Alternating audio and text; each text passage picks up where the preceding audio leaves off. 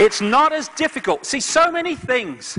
You know, when I was a footballer, the worst part of being a footballer, because I was a nervous little fella then, um, was sitting in the dressing room before the game because all the things that could go wrong were going wrong through your mind. And then when you get out in the field and you actually did it, oh, this is good, I'm enjoying this. It's like when you, you sit worrying about going to the dentist for like three weeks. And then you go in and they says, oh, nothing wrong. It's okay. Oh, that's good. I, that was brilliant. Eh, what do you mean it was brilliant? You, spent, you ruined your life for three weeks waiting for this. Everything seems worse thinking about it. I'll tell you from experience, as, uh, speaking your truth, being your uniqueness is not as difficult as it seems if you disconnect from caring what other people think. That's the prison. That's the prison. Most people live in a prison of fearing what other people think. Therefore, they don't live their life, they live someone else's version of what they should be. Bugger that for a lark. Don't want to know, thank you. I am me, I am unique, and I celebrate everyone else uh, who's expressing their uniqueness. Even though I might not agree with it, so what? Doesn't matter. Their uniqueness, it's them. That's who they are. The more we celebrate uniqueness, the more we celebrate being conscious. As this uh, great film, Dead Poet Society, Robin Williams, he said at one point, I stand upon my desk to remind myself that we must constantly look at things in a different way. You see, the world looks very different from up here. You don't believe me? Well, come and see for yourselves. And we have been manipulated to live lives that basically see life from the same point of observation. Because that's what the manipulators want, because then if we do that, we're controllable. Once we start celebrating uniqueness and have infinite numbers of points of observation of the same thing, suddenly the, there's too many points of difference, too many points of uh, uniqueness and diversity, and you can't control that from a central point. When we open to consciousness, everything seems different because we become different and we lose these prisons like fear and insecurity. And the auric field opens, the mind opens to consciousness, and we start to live a life that is the real us and not the fake us that we have lived up to this point. One of the great things is clearing our minds of the clutter. Always going on clearing, the minds of the clutter. When I'm um, about um, two years ago now, when I was going through this, started this big kind of awakening within myself, like another level, um, I had this overwhelming feeling for months just to throw everything out. I only live in a little flat because I want to and I like it and it's, it just suits me, but it was still full of rubbish um, in, in you know, closets and bloody things, places you do. You don't believe the number of things you kind of accumulate. And what I was going through was an inner clearing of everything out. What really matters to me? What is, what is relevant? And so much isn't. Doesn't matter. We, we hold things on within ourselves that don't matter and we get stressed about them. And what I did as this was happening to me, I, I, realized after a while that my sudden obsession, which lasted about a month or so, of, I was going to the bloody recycling tip day after day after day. They're saying, It's you again. Yeah, more stuff, more stuff. And I got down in my flat to only, not minimalism, but virtually there. And I cleared all these things. Oh, I'll keep that. I might need it. Well, I never use it. Get rid of it. And then I went, after that kind of, I stopped because I had nothing else to throw out.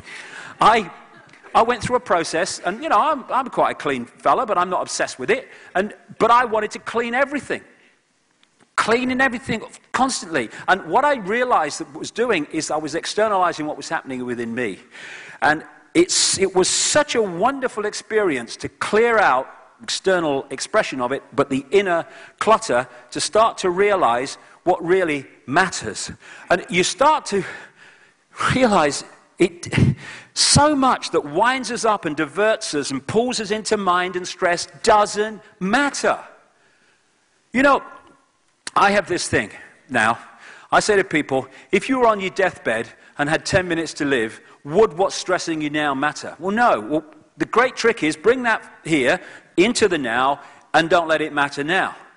Oh, well, what she said about me, it was disgusting. doesn't matter. She'll say something else tomorrow. What does it matter?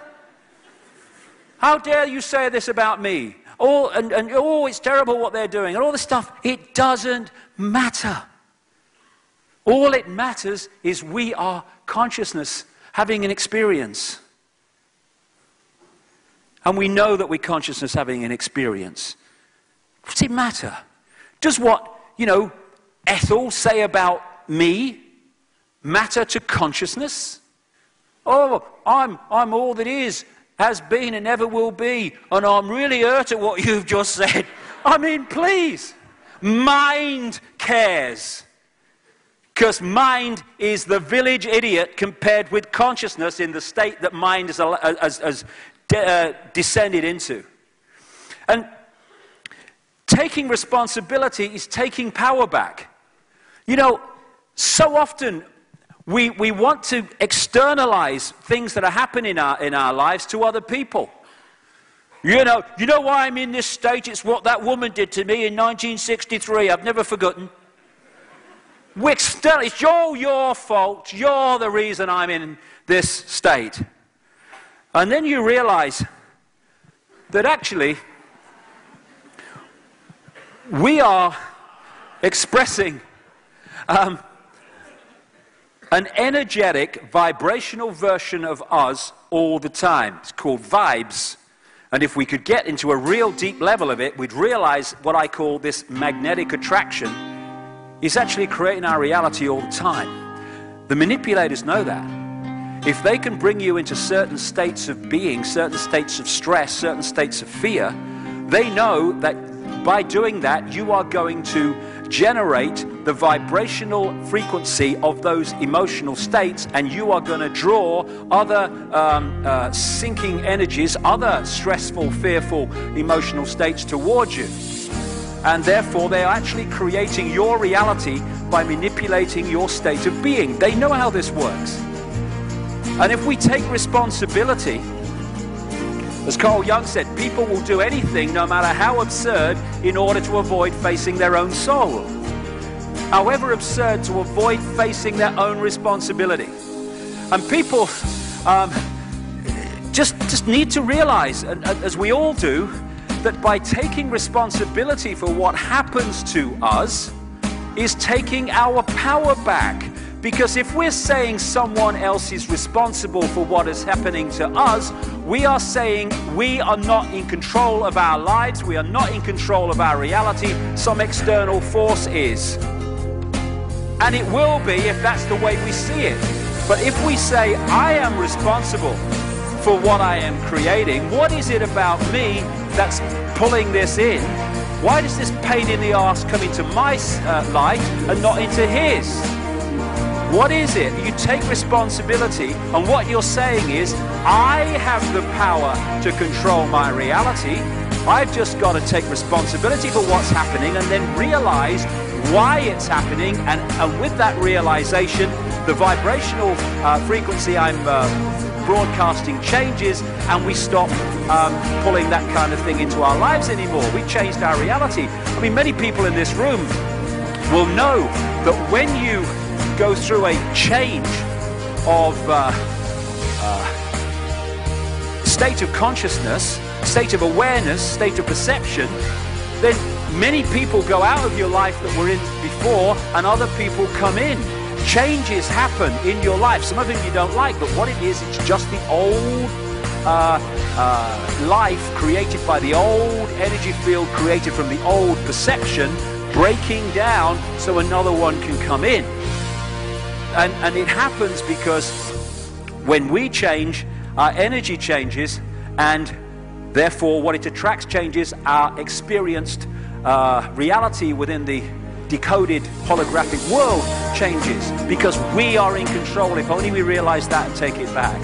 And so instead of blaming everyone else, because while we are fighting among ourselves, and blaming everyone else for what's happening to us. It's just an individual reflection or expression of the energy that leads to wars on a collective level.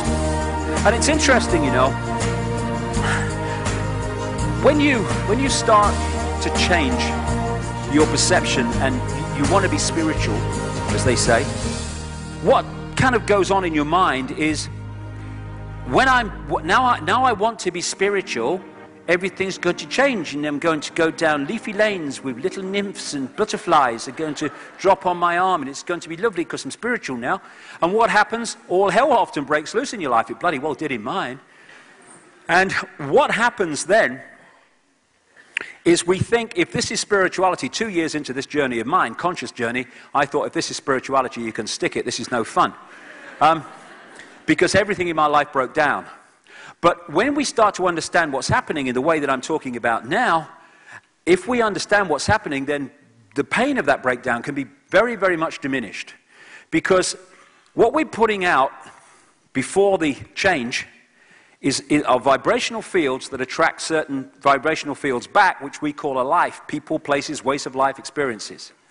When we, when we change and shift our consciousness, there is that transitional point where the old construct, vibrational construct, starts to break down so the new one can come in. And if the old one doesn't break down, the new one can't come in. And at that time, we experience it as all hell's breaking loose in our lives. But what's actually happening is the old is crumbling so the new can be. I never stick around quite long enough to make it. I apologize that once again I'm not in love. But it's as not as if I'm mine at your heart and exactly breaking. It's just a thought, only a thought. But if my life is for rent and I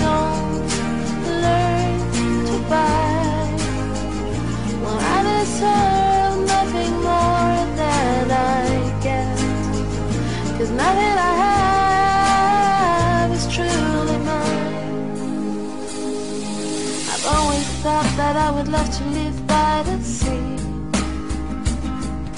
To travel the world alone and live more simply I have no idea what's happened to that dream. As there's really nothing left here to stop me. It's just a thought, only a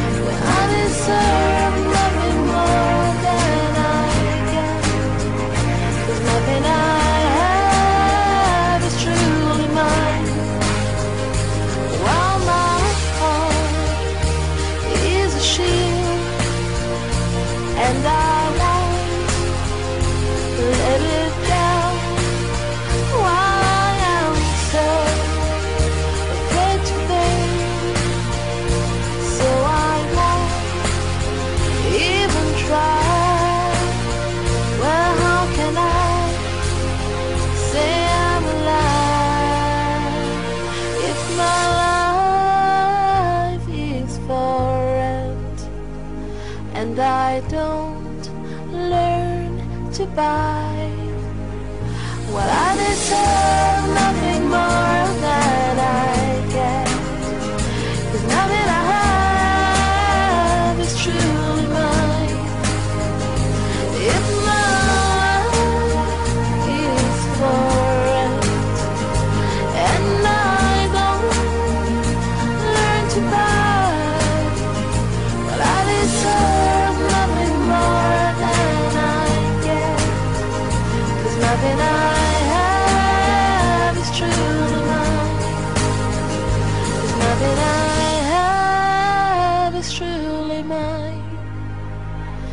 Nothing I have is truly mine.